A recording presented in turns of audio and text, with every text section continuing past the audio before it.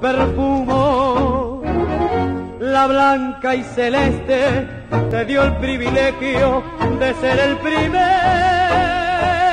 Te nos metemos en el bloque final de Puro Contenido y está sonando a Roberto Perfumo, interpretado por Raúl Cobian, porque esta semana se cumplió un aniversario de la muerte del mariscal, ¿eh? Roberto Perfumo, un, uno de los grandes, grandes, grandes del fútbol argentino.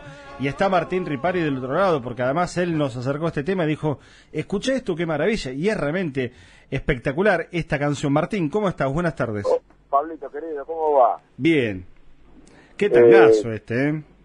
¿Viste? Mira que yo no soy del tango, ¿eh? Yo no soy, Yo no soy tanguero. Eh, no, no, no. Soy más del palo del folclore, si se quiere. Pero eh, eh, un tango que me gustó mucho porque además es, muy cálido eh, a la memoria del, de uno de los más grandes centrales que tuvo el fútbol argentino en, toda su historia. Y si me apurás, no sé si no fue el mejor. hay quienes pueden poner a Pedro del Hacha, quienes pueden poner a Carlos Marante, eh, Vaca Maranti de Sorsi, Lombardo Mourinho y Pecia, del Boca del cuarenta y pico, eh, Boyé Corcuera, Charlanga, Varela y Sánchez, bueno, vamos a completarlo. Eh, pero Perfumo fue, yo crecí, ya cuando yo empecé a ver fútbol él ya no jugaba, él se retiró allá por el año 78 como jugador de River. Y una de las últimas travesuras que se mandó el tipo fue hacerle un gol de tiro libre a Boca en el Nacional del 76 en la bombonera. terrible. Partido que ganó River 1 a 0. Eh, un bombazo, pero bien colocado. Es decir, el tipo le pegaba con un caño y la ponía donde él quería. En los tiros libres. No fue muy goleador. Pero eh, un, hombre de una convicción a la hora de ir al área rival muy importante. Eh, estaba viendo que jugó en tres clubes nada más, Racing, Cruzeiro y River. Tal cual. ¿Y en qué, en las épocas en las que los jugadores duraban mucho tiempo en cada uno de los clubes donde estaban. Sí, sí, obvio, otra época. 11 años en Racing, 3 años en Cruzeiro y 3 años finales en, River Plate. Bueno, en Cruzeiro fue, si no me equivoco, fue campeón de América. No, perdón. Eh, fue con Cruzeiro perdió la final del 75 eh, del 76, perdón, del 76, ah, jugando para River. Eh, que después ese Cruzeiro fue el que perdió la final de América con Boca en el 77, el, día que, que erró el penal Vanderlei, de gati, gati, gati, boca, boca, boca de Víctor Hugo. Eh, pero el Mariscal Perfumo yo lo tengo más en la etapa de decir, yo soy más contemporáneo, nosotros, vos y, vos y yo somos más contemporáneos en esa etapa de entrenador. Claro. Eh, y lo tengo particularmente en lo que lo que yo marcaba el, miércoles cuando fue que se cumplieron los cinco años eh, los cinco años de la muerte de, Roberto Perfumo que fue cuando fue entrenador de Racing en el 91 y cuando fue entrenador de Gimnasia Grima, eh, de Grima La Plata el, en el 93-94 que también tuvo pasos muy fugaces no fueron eh, grandes participaciones pero en Racing como jugador todo lo que ganó y en gimnasia como entrenador haberle dejado al equipo eh, donde hizo sus últimas armas como entrenador Diego, eh, haberle dejado el único título de la era profesional, aquella Copa Centenario del año 93, Copa Centenario que se celebraba en el año 1893, eh, perdón, en el año 1993, porque en 1893 llega Alejandro Watson Hutton de Escocia a, a traernos el fútbol y el Buenos Aires High School, que vio nacer al alumni glorioso de, los últimos años de la década del, eh, perdón, del siglo XIX, eh, primeros años del siglo XX. Que a propósito de esto, déjame eh, recomendarles, si no la vieron ya, una serie que hay en Netflix que se llama Un juego de caballeros. No sé si la viste. No, no la vi. Bueno, te la recomiendo enfáticamente porque habla de el comienzo del fútbol profesional en Inglaterra, pero no solamente del comienzo del fútbol profesional, sino de por qué se hace profesional del fútbol a instancias de quienes, y cuando digo de quienes hablo de las fábricas de las clases obreras, de las clases opulentas, de los hijos de los dueños de los bancos, que jugaban en los equipos eh, que ganaban siempre la FA Cup, y de Fergie Suter, Fergus Suter, el primer jugador profesional de la historia del fútbol mundial. Bueno, tiene que ver con que eso, fue en el año 1879-1880 y que 10 años después el fútbol llegaba a la Argentina. Eh, si ustedes tienen la posibilidad de ver esta serie y de leer algo de la historia del fútbol argentino de aquella época, van a unir completas enseguida. Claro. Interesante, interesante propuesta para, para ver series. Lo único que hay que tener es o tiempo, o bueno, en este caso diste bien el dato, pero hay cada vez más plataformas. Va, a llegar un momento que va a, haber, va a haber que sacar una guía para ver televisión y para ver series, porque es eh, cada día una plataforma nueva. Yo ya no sé. Sí, claro. No sé cómo hacerlo. Y, yo estoy en todas. Me falta meterme en la última que apareció ahora, HBO eh, Box, HBO Go o algo por el estilo. Y, y tengo el póker de hace he metido en el televisor. Che, ¿y le metés, esto no te lo pregunté nunca, ¿y metés series vos? ¿Sos... Sí, ahora estoy con, estoy con Grey's Anatomy como loco. Ah, mirá. Yo no, termino de engancharme. Hace dos meses. Sí, no, no termino de engancharme, me, me cuesta mucho, sí. No, me encanta. Porque es la forma que tengo de poder salir de la realidad de todos los días, de tener que salir de el desastre de la reta de las vacunas, de comprobar que en la provincia las cosas se hacen bien porque me pasó a mí ayer. ¿Podés contar eso? Porque nosotros, viste que no hacemos casi nunca, excepcionalmente lo hemos hecho, ni con Gastón, ni con Matías, bueno, hoy, hoy no están, están a distancia, pero eh, de, hablar de nosotros, viste que es bastante habitual en el periodismo de, de utilizarse ejemplos, pero me, me, da la impresión que en estas circunstancias eh, los ejemplos personales sirven y sirven mucho porque van conformando un relato colectivo en definitiva. Y, en ese marco hay que inscribirlo no por lo que a uno le pasa solamente sino porque uno es parte de un colectivo. Exacto. No sin, sin la intención de ser autorreferencial ni mucho menos. No con la eh, experiencia general si querés claro. Claro eh, acá lo importante no es que a mí me vacunaron. Lo importante es que fui parte de un colectivo que fue bien tratado. Eh, hice una cola de unos 20 minutos con toda la furia y éramos unos cuantos. Eh, me recibieron, me tomaron los datos, me saludaron, me dijeron que me desearon que tenga un buen día. Me acompañó un, un, pibito muy joven, veintipico de años. No llegaba a los 25, pero ni por asomo. Le digo, yo te sigo a vos, viejo, decime lo que tengo que hacer. Venga, señor, por favor, cuando te dicen señor, o pase, don. Sí, claro ahí ya tenés el síntoma más inequívoco de que el almanaque es absolutamente implacable. Eh, me dijo, por favor, siéntese en esta silla, ya lo van a llamar por el número de orden que tiene. Cuando entré iban por el 150, yo tenía 183. Y yo dije, chao, me quedo a vivir acá. Bueno, no habré esperado más de 40 minutos. Sentado, en un ratito, al ratito llegó este mismo muchachito, botella de agua fría en mano para que nos, nos refrescáramos porque hacía calor. Eran más de las 12 del mediodía eh, a los 20 minutos me hicieron pasar a una segunda instancia donde te toman todos los datos, te, te preguntan este, cuál es tu patología de base, si es que existe, eh, te hacen firmar una declaración jurada donde vos eh, decís ser fiel a la verdad en todo lo que dijiste. Eh, y me vacunaron, me tuvieron en una...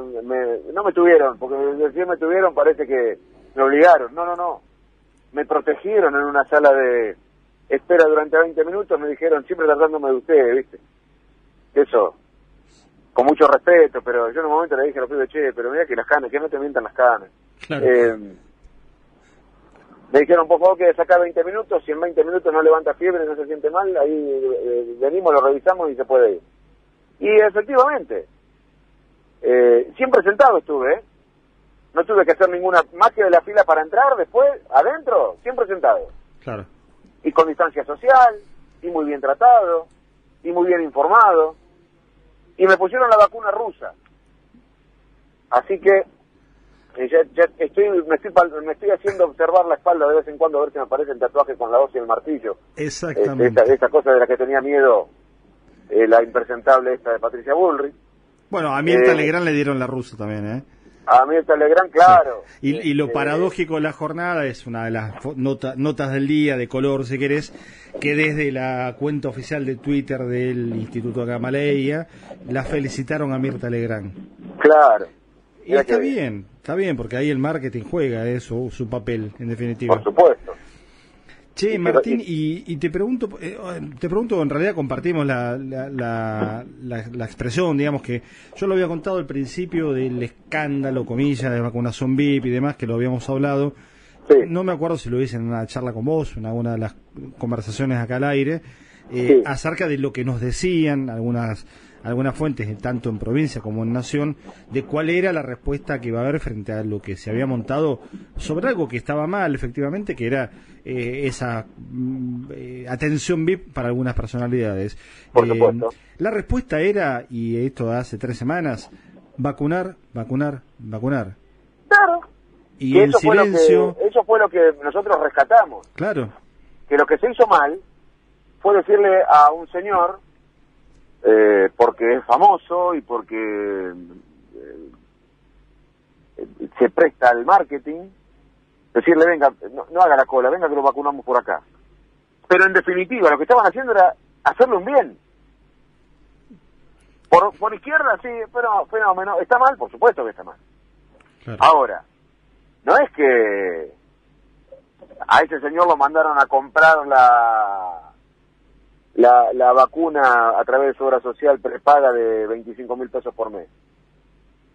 Porque los tiene. Le dijeron, venga que le damos la vacuna. Y no miraron. Es decir, miraron quién era para ahorrarle toda una serie de trámites a un señor de 80 años. y si te lo pones a pensar en ese lugar, no sé hasta qué punto está mal, ¿eh? Es decir, está mal que se haga así con alguien famoso y no con alguien, con un señor de 80 años, un NN. Claro. Ahí es donde radica el error. pero, siempre fue mirando hacia adelante, siempre yendo hacia adelante, no poniéndole una traba a la sociedad. Sí, porque además la verdad que en términos en términos numéricos, no para minimizar lo que está mal, por supuesto que si está mal, está, mal, eh, Estamos hablando de un, de un, par de centenares de vacunas con toda la furia. Sí, y sabes que sabés lo que hicieron los vigilantes de la derecha con con esa este o, o el propio Horacio Berbisky, lo que generó abriendo la boca al, cohete? Que, por ejemplo, eh, centro de vacunación de la Torcaza en Ituzaingó. Sí. Poner que en, el predio de la Torcaza se hubiese abierto un, que no, que no es el caso, se hubiese abierto un, un centro de vacunación ahí. Los lotes de vacunas son, se abren de a 5 de a 10. Entonces, ponerle que tenían previstas 500 vacunas para un día. De esas 500 personas fueron 450. Y me consta que es así, porque el otro ayer, mientras estaba esperando para que me vacunen, llamaron a 10 personas y, nunca apareció. Es decir, se eh, me adelanté 10, 10 este, turnos porque hubo 10 personas que no contestaron al llamado. Que estaban... 170, 171, 172 y nadie contestaba y llegaron al 183 que era el mío. Que estaban con el turno otorgado y no habían ido. Claro, que se habían que se habían presentado, que, que le habían dado el, número de orden, todo. Es decir, esa persona fue, se presentó, dijo, mire, mirá, este, vengo a vacunarme, toma, acá tenés tu número de orden. Y cuando lo llamaron no estaba. Claro. Bueno, esas vacunas que no se aplicaron ahí, ¿qué se hacía antes?